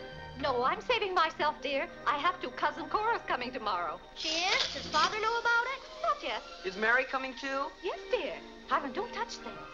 I'll bet you knew it. No, Look, honest, Mother, I didn't. just like Not Father's. tomorrow. Yes, it is, isn't Aren't the sleeves a little long? Exactly Fits well like across the shoulders. Come on now, Harlan. Now, about the hand. sleeve. Don't get lost again. Do we have any more of this material? Yes, we do. Thank you. like you to touch things. This one is genuine imitation Dresden. The original design by Duryea. John, isn't this the darlingest thing? It's exactly what I've always wanted. How much is this lovely pug dog? Uh, Fifteen dollars, ma'am. Fifteen dollars. Gee whiz, Mother. We could buy a real life bloodhound for five dollars. Oh, isn't he perfectly adorable? Oh, I shouldn't. I know I shouldn't. Mrs. Day. Oh, Mrs. Whitehead. How nice to see you. Are you quite recovered? Almost. This is my first day out. We've missed you at the church. You remember Mr. Morley? How do you do, Mrs. How do you do? Mr. Morley preached the Sunday Dr. Lloyd was ill.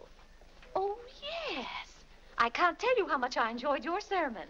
Even my husband enjoyed your sermon. We've just come from the board meeting of the foreign missions. I'm taking Mr. Morley home to lunch. I had to drop in here to pick up a purchase. I won't be a minute. Is your parish in the city? Yes, it's on the outskirts. My church is in Audubon Park. Oh, way up there. Oh, are you acquainted in Audubon Park? No, I don't believe we know a soul there. Mr. Morley, would this be possible? Uh, my husband, Mr. Day. If we lower the collar, it'll be a very fine fit.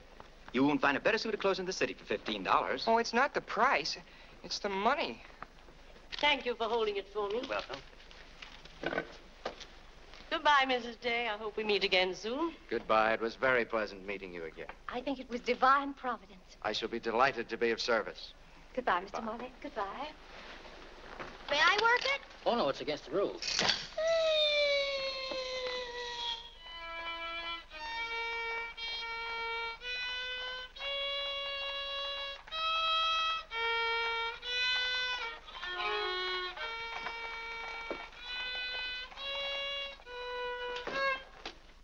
Hello. What did you bring home more medicine for? Dr. Bartlett paid us off, didn't he? Oh, yes. Oh, Jiminy, you scared me. I've got to take $15 right down to McCreery's. I bought a suit there this morning, and I said I'd have the money this afternoon. Gee, that's too bad. What's too bad? Well, well, you see, Clarence. What? Dr. Bartlett paid us off in medicine. Oh, God! Well, he thanked us, too, for our services to mankind. But my suit, I've got to have it tomorrow. And besides, they're making the alterations. I've got to have $15. Maybe you could offer them 15 bottles of medicine. Oh, they wouldn't take it. McCreery's don't sell medicine. Father. Vinnie, I'm home. Good afternoon, sir. How's your mother, Clarence? Oh, the ride this morning did her a lot of good. She'll be well enough to go to church with us next Sunday. Ah, fine. Oh, Father, Have you noticed I haven't been kneeling down in church lately? Don't let your mother catch you at it. Then I have to have a new suit of clothes right away. That doesn't make sense. I can't do anything in your clothes that you wouldn't do. Well, if my old clothes make you behave yourself, I don't think you ought to wear anything else. Oh, no, you're you and I'm me. I want to be myself. I mean, suppose I should want to kneel down in front of a girl. Why, in heaven's name, should you want to do a thing like that? Well, I've got to propose to a girl sometime. Clarence. Well, not right away, but for $15 I can get a good suit of clothes. Clarence, you're beginning to talk as crazy as you... Hello, Vinnie. You're feeling better today, huh? Much better, thank you, Clare. You don't have to hurry home from the office every day like this. Uh, with business the way it is, there's no use going to the office at all. Yes, you do look better, Vinnie. What did you do today? Well, I got a carriage and took the boys for a ride, and we stopped in at McCreery's. Oh, Clare, I've the most wonderful news for you. Who do you think I met? Mr. Morley. Morley? Never heard of him. Remember that nice young minister who substituted for Dr. Lloyd one Sunday? Oh, yes. Bright young fellow. Preached a good, sensible sermon. Short one, too. Ought to be more ministers like him. Well, Clare, his parish is in Audubon Park. You know, way up above Harlem. Nobody knows you up there. You'll be perfectly safe. Safe? Vinnie, what the devil are you talking about? I've gone all over everything with Mr. Morley, and he's agreed to baptize you. Oh, he has. the young whippersnapper. Very nice of him. We can go up there any morning. We don't even have to make an appointment. Who said I was going to be baptized at all? Why, Clare, you did. Now, Vinnie. You gave me your promise, your sacred promise. You said I'll be baptized. I promise I'll be baptized. Well, what if I did? Clare, aren't you a man of your word? Vinnie, we all thought you were dying. So naturally I said that to cheer you up. As a matter of fact, the doctor told me that's what cured you. Well, it seems to me pretty ungrateful of you to press this matter any further. My being well has nothing to do with it. You gave me your word. You gave the Lord your word. And you're going to march yourself up to Mr. Morley's church some morning before you go to the office and be christened. If you think for one minute... What I'm in the name of heaven is that? If you think I'm going to let you add the sin of breaking your solemn and sacred promise, I demand to know what that repulsive object is. It's perfectly plain what it is. It's a pug dog. What is it doing in this house? I wanted it and I bought it. You spent good money for that? Clare, don't try to change the subject. How much did you pay for that atrocity? I didn't pay anything for it. I charged it. Charged it, I might have known. How much was it? Fifteen dollars. Fifteen dollars? Uh, Clare. For that eyesore? Don't you call this lovely work of art an eyesore? It will look beautiful sitting on a red cushion by the fireplace in the living room. If that sits in the living room, I won't. Furthermore, I don't even want it in the same house with me. Get it out of here. Clare, you're not going to get out of this room until you set a date for your baptism. I'll tell you one thing. I'll never be baptized as long as that hideous monstrosity is in this house. All right. All right. Clarence. That pug dog goes back this afternoon, and he's christened first thing in the morning.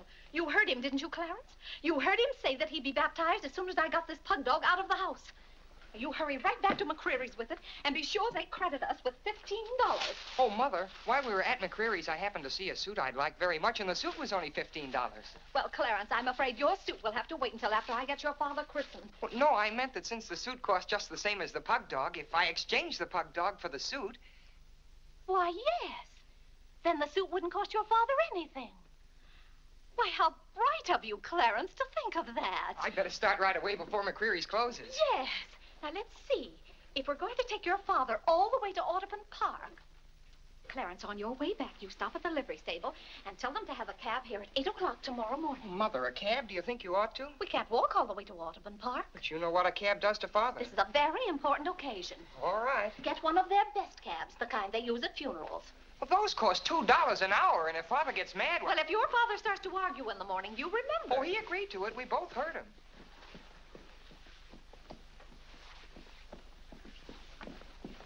I hope you notice Clarence is returning the pug dog. Well, that's a sign you're getting your faculties back. Don't dawdle, Clarence.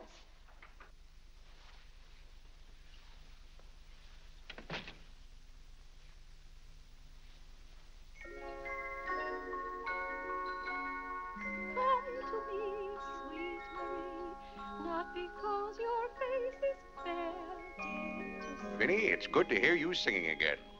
But your smile so pure and sweet makes my happiness complete, makes me falter at your feet, sweet Marie. Oh, uh, on the way uptown, I stopped in at Tiffany's and bought you a little something. Thought you might like it. Clare! What a beautiful ring! I'm glad if it pleases you. Oh, Clare, how sweet of you. I don't know how to thank you. Hmm. Well, it's thanks enough for me just to have you up and around again. You know, when you're ill, Vinnie, this house is like a tomb. There's no excitement. That's the loveliest ring you ever bought me. Now that I have this, you needn't buy me any more rings. Well, if you don't want any more. What I'd really like now is a nice diamond necklace. Vinnie, do you know how much a diamond necklace costs? Yes, I know, Clare, but don't you see, your giving me this shows I mean a little something to you. Now, a diamond necklace. Good heaven. If you don't know by this time how I feel about you. Well, we've been married for 20 years, and I've loved you every minute of it. What did you say, Clare? I said we've been married for 20 years, and I've loved you every minute of it.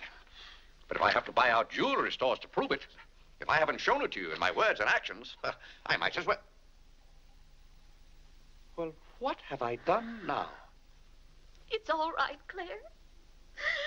I'm just so happy. Happy? You said you loved me. And that beautiful ring, that's something else I didn't expect. Oh, Clare, I love surprises. But that's another thing I've never understood about you, Vinnie.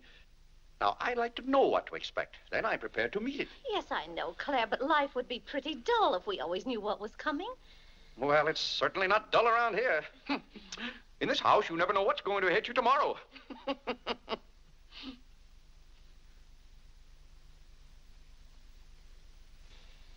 Every daisy in the dell knows my secret, knows it well, and yet I dare not tell thee, sweet Marie,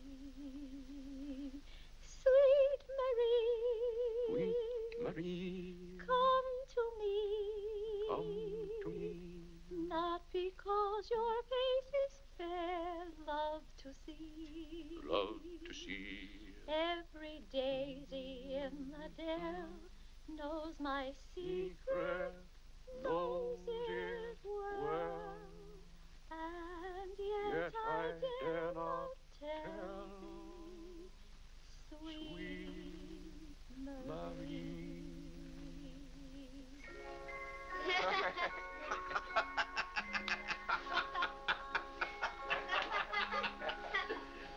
well, then, Harlan, the very... Who are you? What's your name? Margaret, sir. Can't be Margaret. We've got one Margaret in the house. At home, they call me Maggie, sir. All right, Maggie. if her name's Margaret, that's a good sign. Maybe she'll stay a while. Do you know, boys, your mother used to be just the same about cooks as she is about maids. Never could keep them for some reason. Well, one day about uh, 14 years ago. Yes, it was right after you were born, John. My, you were a homely baby.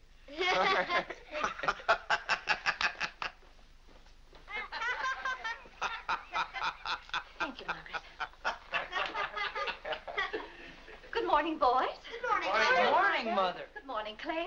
Morning, Vinnie. Why, you look as though you were dressed for a wedding. Do I, dear? Yes. Have a good night. Yes, thank you, Clare. Uh, sit down, Vinnie. Sit down, boys. Oh, thank you, Clarence. Well, seems to me everyone's all dressed up this morning. What's on the program for this fine day? Well, uh, this afternoon, May Lewis's mother is giving a party for everyone in May's dancing class. Harlan's going to that. I don't want to go, Mama. Harlan, don't you want to go to a party and get ice cream and cake? May Lewis always tries to kiss me. When you get a little older, you won't object to girls wanting to kiss you. Will he, Clarence? This is for you, Mr. Day. Where shall I put it? Oh, that's for me, I think. Take it upstairs, Maggie. Wait a minute, Maggie. Bring it here. Let's see it. See, it's for me, Father, Clarence Day Jr. Let me look. Well, that's from McCreery's. And it's marked charge. What is it? Clare, it's all right. It's nothing for you to worry about. Well, at least I think I should know what's being charged to me. What is it? Clare, stop your fussing. It's a new suit of clothes for Clarence, and it isn't costing you a penny. It's marked charge $15. It's costing me $15. And I told Clarence, Clare, can't you take my word? It isn't costing you a penny. I'd like to have you explain why it isn't.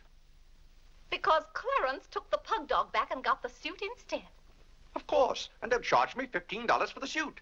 Nonsense, Clare. We gave them the pug dog for the suit, don't you see? Then they'll charge me $15 for the pug dog. But, Clare, they can't. We haven't got the pug dog. We sent that back. Well... Hmm? But... Well, now, wait a minute, Vinnie. The suit... The... Well, there's something wrong with your reasoning. Well, Clare, I'm surprised at you when you're supposed to be so good at figures. That's perfectly clear to me. Vinnie, they're going to charge me for one thing or the other. Don't you let them.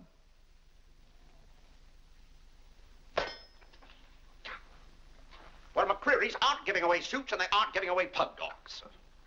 Why, it should be clear to a child that if Clarence sent the pug dog back, they... What? I will not have that botanical freak in this room. John, have you been going around this town selling medicine? Yes, Mother. Dog medicine? No, Mother, not dog medicine. This letter from Mrs. Sprague says you sold her a bottle of this medicine and that her little boy gave some of it to their dog and it killed him. Now she wants $10 from us for a new dog. Here, let me see that letter. Well, he shouldn't have given it to a dog. It's for humans. Why, it's Bartlett's beneficent balm made from a secret formula. Have you been going around among our friends and neighbors selling some patent nostrum? But it's good medicine, Father. I can prove that by Mother. Vinnie, what do you know about this? Well, nothing, Clare. But I'm sure John didn't... No, I mean that day Mother was... That's enough. You're going to every house where you sold a bottle of that concoction and buy it all back. But it's a dollar a bottle. I don't care how much it is. Here, I'll give you the money now. How many bottles did you sell? 128. A hundred and twenty-eight? Clare, I always told you John would make a good businessman. Young man, you'll have to come down to my office with me. I'll give you the money to buy back that medicine. $128. And $10 more for Mrs. Sprague's dog. That's $138. Thank you, Vinnie. But it's all coming out of your allowance. That means that you'll not get another penny until the whole $138 is paid up. I'll be 21 years old. Dogad! What's the matter, Clare? What's wrong?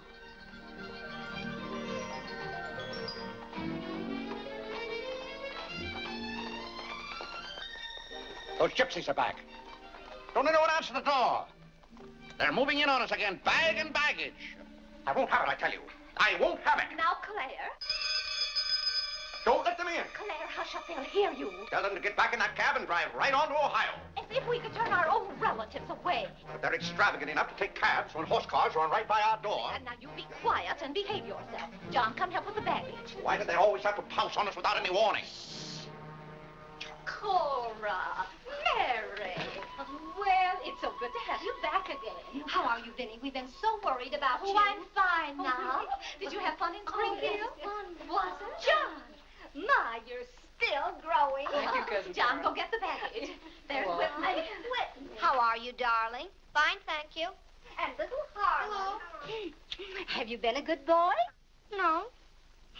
Clare, the girls are here. Cousin Clare, here we are again. my, my, it's so nice to be back. How do you do, Mr. Day? How do you do? Come and sit down and have some breakfast with us. Oh, we had breakfast at the depot. Well, we've practically finished ours. I haven't finished my breakfast. Well, then sit down, Clare. Come and have a cup of coffee anyway. Oh, Mary, you, sit over there. Oh. Cora, Maggie, clear those places. My, my, this seems so natural. Clare, don't let your kippers get cold. Maggie, serve some coffee. Yes, Oh, where's Clarence?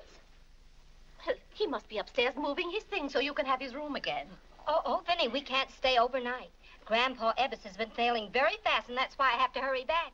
We're leaving on the five o'clock train this afternoon. Well, Cora, it certainly is good to see you again.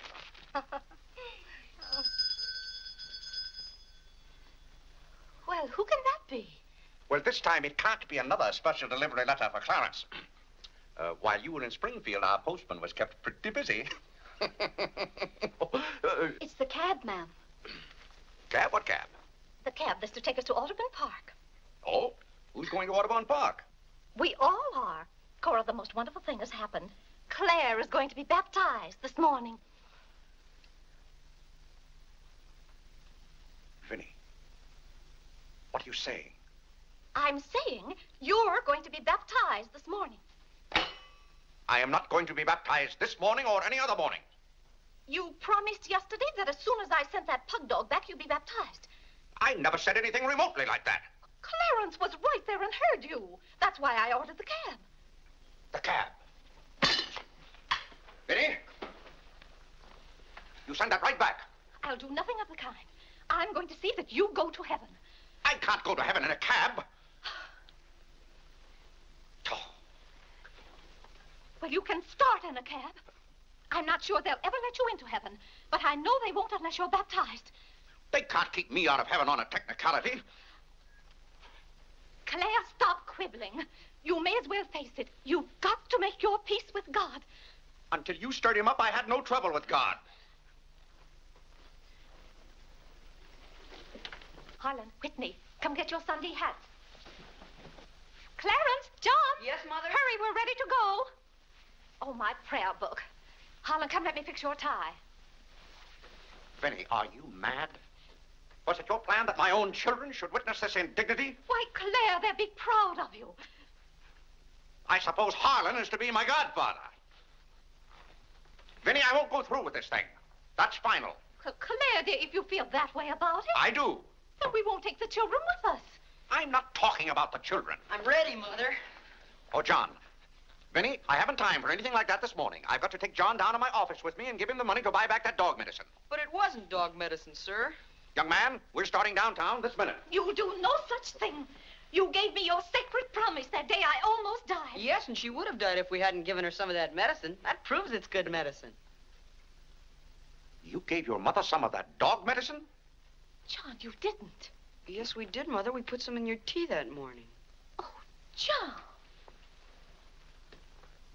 Do you realize you might have killed your mother? You did kill Mrs. Sprague's dog. John, I'll have to give considerable thought as to how you're to be punished for this. But Clare, No, Vinnie. When I think of that day, what, why, we might have lost you. You're all right now, thank heaven. But what I went through that afternoon, the way I felt, I'll never forget it. you've forgotten it already. What do you mean? That was the day you gave me your sacred promise.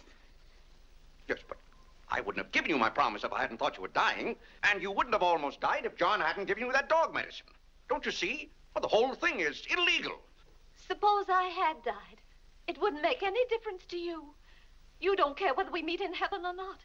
You don't care whether you ever see me and the children again. Now, Vinnie, you're not being fair to me. It's all right, Clare. If you don't love us enough, there's nothing we can do about it. But that has nothing to do with it. I love my family as much as any man. All my life, I've struggled and worked just to... Gad, there's that cab. Vinnie, you, you're not well enough to go all the way to Audubon. Oh, I'm well enough if we ride. But that trip would take all morning. And those cabs cost a dollar an hour. This is one of their best cabs. This costs two dollars an hour. Well, then why aren't you ready? Get your hat on. Oh, tarnation! Hallelujah! Amen! Young lady, if it hadn't been for you, no one would have known whether I was baptized or not.